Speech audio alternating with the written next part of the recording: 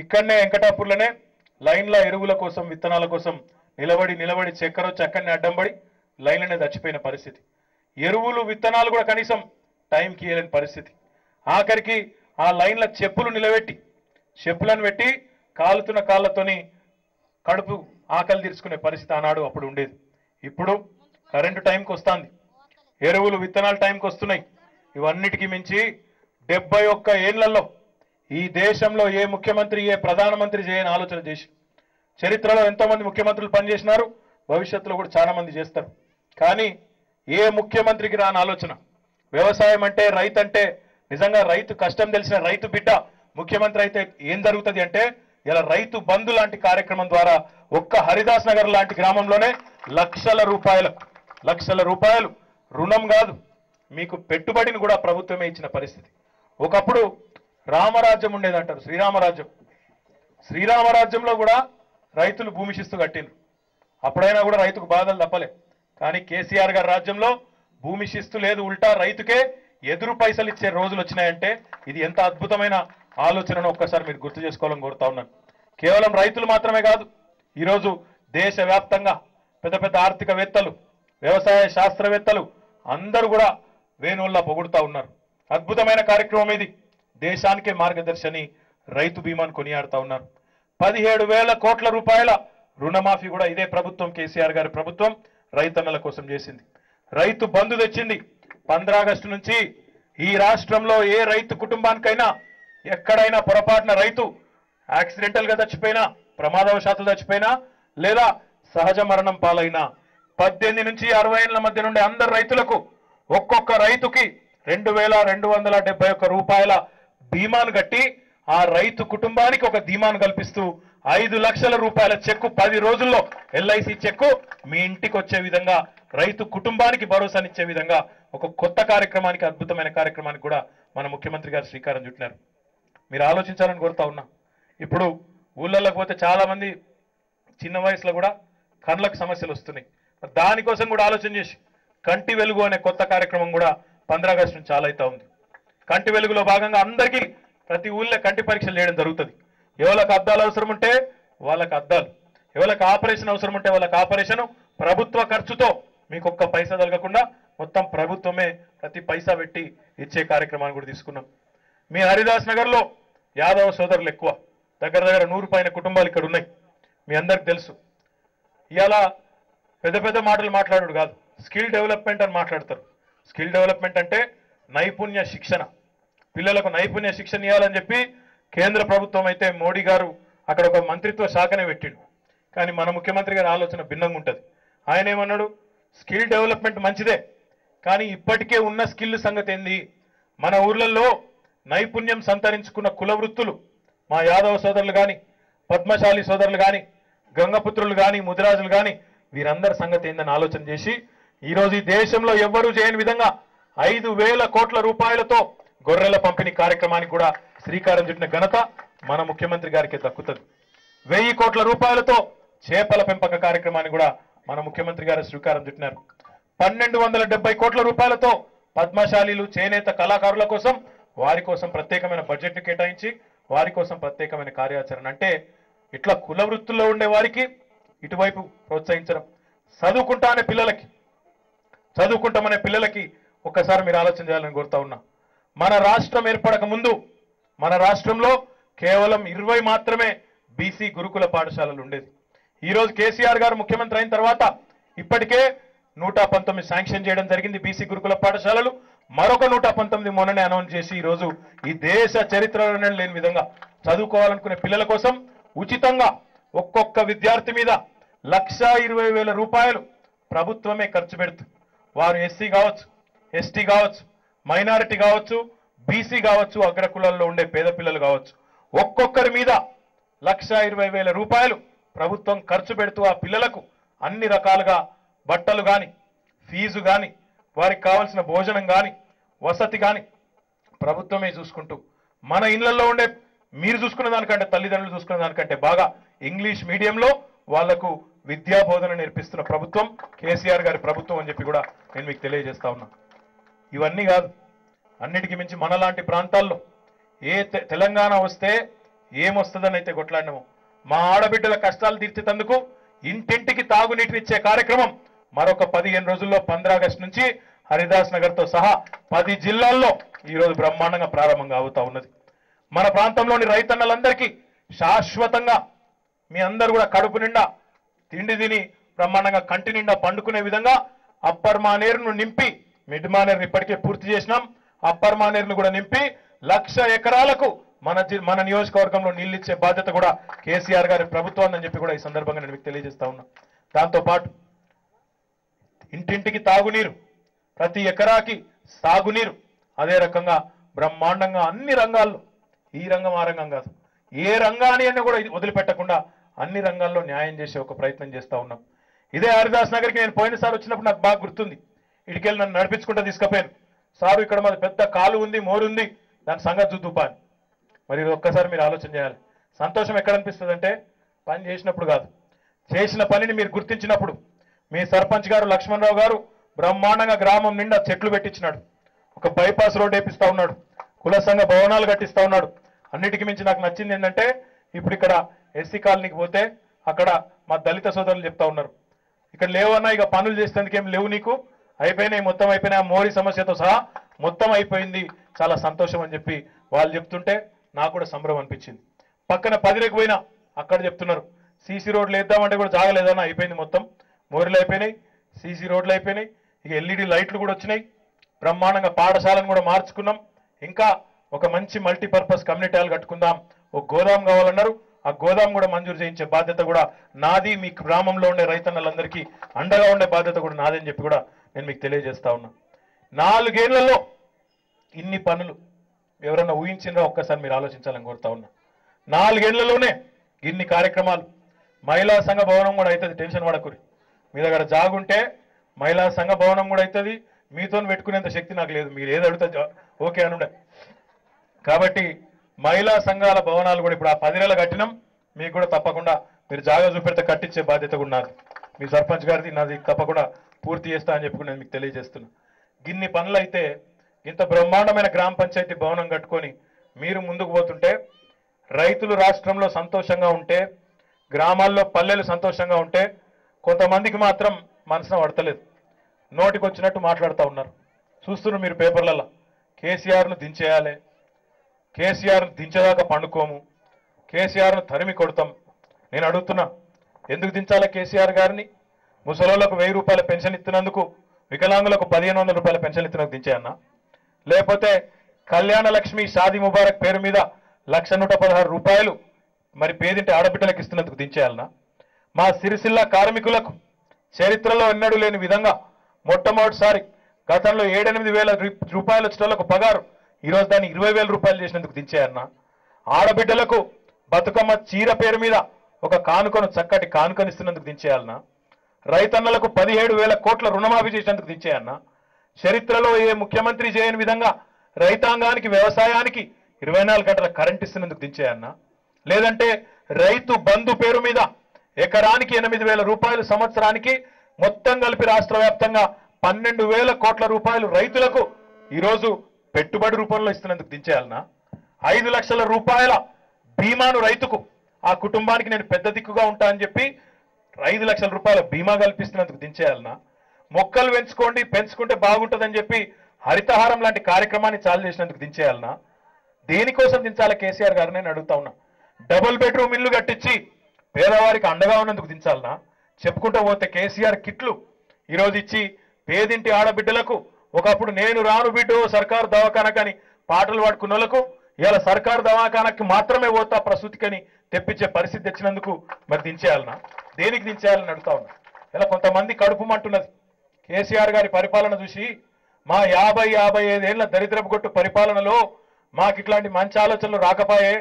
పేదవాళ్ళ కోసం మంచి చేసే ఆలోచనలు మాకు రాకపాయే అని చెప్పి ఇలా అడ్డం పొడుగు మాట్లాడుతున్నారు. ఏ గోదావరి నీళ్ళని తీసుకొచ్చైతే కేసీఆర్ గారు మన ప్రాంతం మొత్తాన్ని సస్యశ్యామలం చేయాలని ప్రయత్నం చేస్తా ఉన్నారు. కాళేశ్వరం ప్రాజెక్టు ద్వారా సస్యశ్యామలం చేయాలని ప్రయత్నం చేస్తున్నారు. దాన్ని గుర్తించి నరేంద్ర మోడీ భారత ప్రధానమంత్రి కూడా పార్లమెంట్లో మొన్న చెప్పిండు. కేసీఆర్ గారు కొత్త రాష్ట్రానికి కొత్త ముఖ్యమంత్రి అయినా గొప్ప మెచ్యూరిటీని కనబరిచిండు పని చేసుకుంటూ పోయిండు. పక్క రాష్ట్ర పైన ఏడుపు కొట్ట ఆయన ఏడ్చుకుంటూనే కూర్చున్నాడు. అందుకే అలంకర మిగిలిపోయిందని చెప్పిండు. ప్రధానమంత్రికి కూడా అర్థమైంది. ఢిల్లీలో ఉండే ప్రధానమంత్రికి అర్థమైంది కానీ ఇక్కడనే ఉండే మన కాంగ్రెస్ సన్నాసులకు మాత్రం అర్థమైతలేదు. వాళ్ళకి అర్థమైతలేదు. ఇంకే ఇప్పుడు ఒక్క మాట్లాడుతున్నా నేను. ఒక ఎమ్మెల్యేకు ఇంతకంటే గొప్ప తృప్తి ఏముంటుంది? పదిరేకు పోయినా హరిదాస్ నగర్కి వచ్చిన. రెండు ఊర్లల్లో దగ్గర దగ్గర పనులన్నీ అయిపోయినాయి ఒకటో రెండో మిగిలినాయి. అవి మీరు చేయండి అని చెప్పే పరిస్థితి ఉందంటే ఇంతకంటే గౌరవం ఇంతకంటే గొప్ప సంతోషం ఒక శాసనసభ్యుడికి ఒక సర్పంచ్కి ఏముంటుందని చెప్పి నేను అడుగుతా ఉన్నా. ఇట్లా ఒక గ్రామం కాదు ఈరోజు. రాష్ట్ర వ్యాప్తంగా ఏ గ్రామానికి పోయినా ఇదే పరిస్థితి ఉన్నది. ఇంత అద్భుతమైన పరిస్థితి ఉన్నది. ప్రజలు సంతోషంగా ఉన్నారు. కడుపు మంటతో ఎవరున్నారంటే ఈ తినదరగకున్న వాళ్ళు కొంతమంది నోటికి వచ్చినట్టు మాట్లాడుతూ ఉన్నారు. ప్రాజెక్టులు కట్టి నీళ్ళు ఇస్తామంటే పోయి కేసులు వేస్తారు అడ్డం పడతారు. మళ్ళీ మీదికెళ్ళి ప్రాజెక్టుల కమిషన్ల కోసం కడుతున్నారని చెప్పి చిల్లర మల్లర మాటలు మాట్లాడతారు. మరి నేను కూడా అడగాల్సి వస్తుంది. మనం కూడా అడగాల్సి వస్తుంది ప్రజలుగా. అంటే మీరు ఇదివరకు కట్టిరు మీరు కూడా. నత్తలు నత్తలు కూడా సిగ్గుపడే వేగంతో మీరు కూడా కట్టిండ్రు కొన్ని ప్రాజెక్టులు. ఎస్ఆర్ఎస్పి కట్టిండ్రు ఇంకోటిగా నాగార్జున సాగర్ కట్టిన ఒక నలభై యాభై ఏళ్ళు కష్టపడి కట్టిరు అనుకో మనం మూడేళ్ళలో కడితే వాళ్ళకి అర్థమవుతలేదు అర్థమైతలేదు. మరి మీరు ఇదివరకు కట్టిన ప్రతి ప్రాజెక్టు కూడా కమిషన్ల కోసమే కట్టినరా అంటే మీరు చేసిన దరిద్ర పనులు దేశమంతా గదే చేస్తారని పచ్చకామెరలోనికి లోకమంతా పచ్చగానే కనబడుతుంది అన్నట్టు మీరు చేసే దరిద్ర పనులు దేశమంతా చేస్తారనుకునే భావనలో కొంతమంది మాట్లాడుతూ ఉన్నారు కాంగ్రెస్ నాయకులు. మంచిది కాదు. ప్రజలకు మంచి జరిగితే మంచి జరిగిందని చెప్పండి. ఇంకా కావాలంటే కావాలని చెప్పండి. ఇప్పుడు మీ సర్పంచ్ అడిగినారు మా రోడ్డు ఉన్నది కానీ ఇంకొక బైపాస్ రోడ్ వేసుకుంటున్నాం. ఆ రోడ్డుకు డబ్బులు ఇవ్వమన్నారు. తప్పకుండా ఇద్దాం. ఇంకా కావాలంటే ఇంకా పనులు చేసుకుంటామంటే పనులు చేపియాలి. ప్రతిపక్షం అంటే గట్లుండాలి. ఆ రోడ్డు కాదు ఈ రోడ్ అనాలి. ఇంకో గోడౌన్ కట్టి ఇవ్వనాలి ఇంకా చేయమనాలి పని. అంతేగాని చేస్తున్న కా పని పని చేస్తున్నోనికి ఉరుకుతున్నోనికి కాలాల కట్టబెట్టి అడ్డం పడేటట్టు చేసి పని చేస్తున్న నారాజు చేసేటట్టు చేసి ప్రజలలో ఒక లేనిపోని అనుమానాలు తెప్పించేటట్టు చేసి చిల్లర మల్లర మాటలు మాట్లాడుతున్న నాయకులు ఎవరైతున్నారో వాళ్ళని మీరే పట్టించుకుంటలేరు. ప్రజలు పట్టించుకుంటలేరు ఇన్ని ఎలక్షన్లు వచ్చినాయి ఈ మధ్యలో ఈ నాలుగేళ్ళలో. జిహెచ్ఎంసీ ఎలక్షన్ వస్తే అక్కడ టీఆర్ఎస్ పార్టీకి సున్నా సీట్లు ఉండే సున్నా సీట్లకు వెళ్ళి వంద సీట్లకు మీరే కట్టబెట్టారు అదే రకంగా వరంగల్ ఉప ఎన్నిక వస్తే గతంలో నాలుగు లక్షల ఓట్లతో మీరు రెండు వేల పద్నాలుగులో గెలిపిస్తే ఉప ఎన్నికలో నాలుగు లక్షల డెబ్బై వేల ఓట్లతో గెలిపించారు నారాయణ్ ఖేడ్లో పాలేరులో కాంగ్రెస్ పార్టీ శాసనసభ్యులు మరణిస్తే వారి కుటుంబ సభ్యులు నిలబడితే రెండు చోట్ల కూడా యాభై యాభై వేల ఓట్ల మెజారిటీతోని టీఆర్ఎస్ అభ్యర్థుల్ని గెలిపించినారు. అంటే ప్రజల ఆలోచన ఎట్లున్నది? కాంగ్రెస్ వాళ్ళ ఆలోచన ఎట్లున్నదో దాన్ని బట్టే అర్థం చేసుకోవచ్చు. కానీ బుద్ధి వస్తలేదు. చింత దచ్చినా పులుపు సావదన్నట్టు మీరెన్నిసార్లు సావగొట్టినా మీరెన్నిసార్లు అద్భుతమైన ప్రజా తీర్పునిచ్చిన కాంగ్రెస్ నాయకులకు సోయి వస్తలేదు సిగ్గు కూడా వస్తలేదు. అందుకే వాళ్ళందరికీ బుద్ధి చెప్పాలంటే ఒక్కటే పని చేయాలి. ఎక్కువ వర్రేది లేదు చదివేది లేదు. సందర్భం వచ్చినాడు. ఎలక్షన్లు ఆరు నెలలకు వస్తాయో తొమ్మిది నెలలకు వస్తాయో పన్నెండు నెలలకు వస్తాయో ఎప్పుడు వచ్చినా సరే. ఎప్పుడు ఎలక్షన్లు వచ్చినా మళ్ళీ కేసీఆర్ గారే మా ముఖ్యమంత్రిగా ఉండాలి. తప్పకుండా ఆయన అయితేనే బంగారు తెలంగాణ అవుతుందనే ఒక ఏకగ్రీవ తీర్పును ఏకపక్ష తీర్పును మీరందరూ కూడా ఇవ్వాలని చెప్పి నేను కోరుతా ఉన్నా. ఎందుకంటే అంతటి చిత్తశుద్ధి కలిగిన నాయకుడు అంతటి నిబద్ధత కలిగిన నాయకులు తక్కువ మంది ఉంటారు ఊకూకే దొరకరు. ఆయన నాయకత్వంలోనే పట్టుదలతో పద్నాలుగేళ్ళు కొట్లాడి తెలంగాణను తెచ్చుకున్నాం. ఇప్పుడు కూడా బంగారు తెలంగాణ సాధించుకోవాలంటే కొంత మొండితనం కొంత పూర్తి స్థాయి కమిట్మెంట్ అదే రకంగా ప్రజల పక్షాన ఉండే ఒక నిబద్ధత ఇవన్నీ లేకపోతే ఇవి సాధ్యమయ్యేటిది కాదు. అందులో కాంగ్రెస్ లెవెల్ కొత్త వాళ్ళు కాదు. వాళ్ళ కథ ఎట్లుందంటే ఇలా వాళ్ళు మాట్లాడే మాటలు ఎంత నీచమైన మాటలు అంటే నాలుగేళ్ళలోనే మొత్తం అయిపోయేది ఉండే. మేమేదో కేసీఆర్ గారికి చందమామని అప్పచెప్పిపోయినాం మొత్తం మసిబూసి ఆయన గలీజ్ చేసిండు దాన్ని ఏదో ఎగబడతా ఉన్నారు. డెబ్బై ఏళ్ళు దేశానికి స్వాతంత్రం వచ్చిన తర్వాత డెబ్బై ఏళ్ళు ఇప్పటివరకు గడిస్తే ఈ డెబ్బై ఏళ్ళలో మన దేశాన్ని రాష్ట్రాన్ని యాభై ఐదేళ్ళు వెళ్ళింది కాంగ్రెస్ వాళ్ళే. ఒక పదిహేను ఏళ్ళు తెలుగుదేశం వాళ్ళు. ఇవాళ మళ్ళీ వాళ్ళిద్దరు కలుస్తారట. జోగి జోగి రాస్తే బూడిద రాలుకుందని వాళ్ళిద్దరు కలుస్తారట. కాంగ్రెస్ వాళ్ళు తెలుగుదేశం వాళ్ళు పొత్తులు పెట్టుకొని ఊళ్ళలో కొత్తారట. ఒక్కసారి మీరు ఆలోచన చేయాలి. యాభై ఐదేళ్ళు ఒకడు పదిహేను ఏళ్ళు ఇంకొకడు. వీళ్ళిద్దరు చేసిందేం లేదు. మేము దద్దమ్మలము మేమిద్దరం కూడా తోడు దొంగలము అని చెప్పి రేపు ఊళ్ళలోకి వచ్చి మీకు పలకరించి ఓట్లు ఏమని అడుగుతారట. కేసీఆర్ గారు నాలుగేళ్ళలో ఐదేళ్ళలో చేసిన దానికంటే మేము డెబ్బై ఏళ్ళలో చాలా పొడి చేసినామని చెప్పి ఇద్దరు సన్నాస పార్టీలు రెండు వచ్చి కలుస్తాయట. తప్పకుండా. ఎంతమంది కలిసినా మాకు అభ్యంతరం లేదు. వీళ్ళిద్దరే కాదు ఇంకో ముగ్గురు నలుగురు కూడా కలిసేట్టున్నారు. కానీ అదే సినిమాలో చెప్పారు ఏం చెప్పిండ్రు గుంపులుగా ఏమొస్తాయి? మీకే ఎరక నేను చెప్పా. సింహం ఎప్పుడైనా సింగిల్ గానే వస్తుంది. కేసీఆర్ గారు ఖచ్చితంగా ఒంటరిగానే రెండు వేల పద్నాలుగులో ఒంటి చేత్తో గెలిపించింది రెండు వేల పంతొమ్మిదిలో మీ అందరి దయతో ఆశీర్వాదంతో ఒక్కొక్కల డిపాజిట్లు జప్తు చేసి గెలవకపోతే తప్పకుండా కాంగ్రెస్ పార్టీకి బుద్ధి చెప్పకపోతే ఈ ఐదేళ్ళు కేసీఆర్ గారు మనకు చేసిన సేవకు కూడా అర్థం ఉండదనే విషయాన్ని కూడా నేను మీకు గుర్తు చేస్తా ఉన్నా. ఎవరు ఎట్లా వచ్చినా రాజకీయాల్లో వాళ్ళ ప్రయత్నాలు వాళ్ళు చేసుకోవాలి.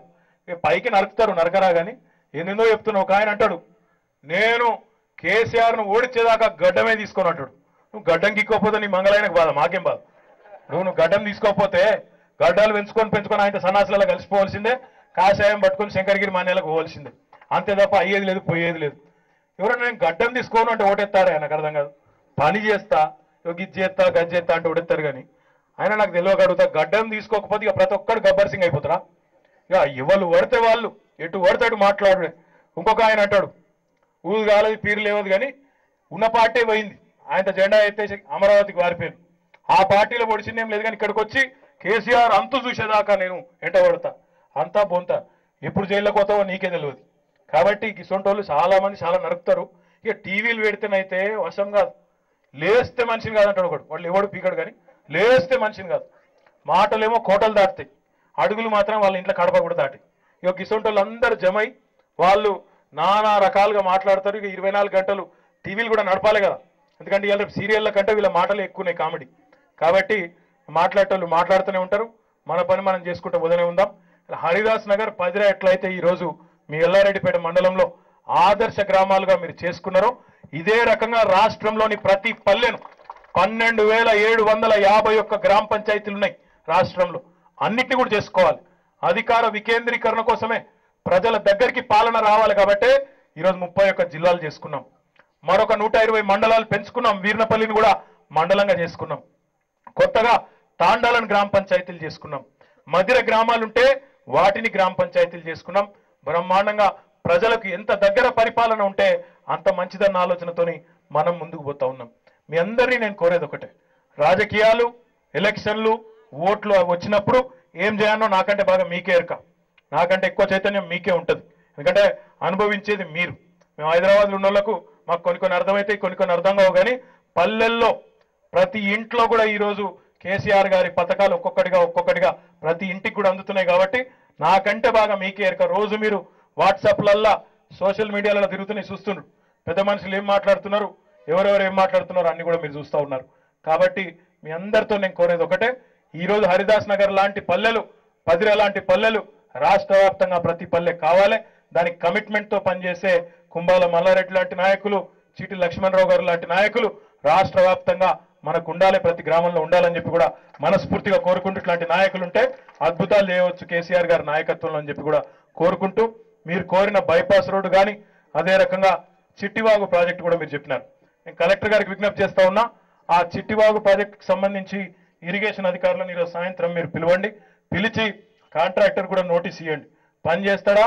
పని చేయడా? పని చేయకపోతే క్యాన్సిల్ చేసి ఇంకోళ్ళకి అప్పచెప్పండి ఈ గ్రామానికి సంబంధించినంత వరకు చాలా ముఖ్యమైన ప్రాజెక్ట్ అది కాబట్టి దాన్ని కూడా వెంటనే చేయించే బాధ్యత కూడా మీరు తీసుకోండి. మీరు కూడా లక్ష్మణరావు గారు ఆగయ్య గారు ఇద్దరు కూడా దయచేసి ఆ పనిలో ముందుకు పోవాలని చెప్పి కూడా కోరుకుంటూ తప్పకుండా. ఇంకొక రెండు చెక్ డ్యామ్లు కూడా కావాలంటున్నారు వాగులో. తప్పకుండా ఆ కార్యక్రమాన్ని కూడా చేసుకుందాం. రామ లక్ష్మణుల పల్లెకు ఆ పదిరేకు మధ్యన ఉండే ఏదైతే బ్రిడ్జ్ ఉన్నదో బ్రిడ్జ్ కింద కూడా ఒక చెక్ డ్యామ్ కడుతున్నాం.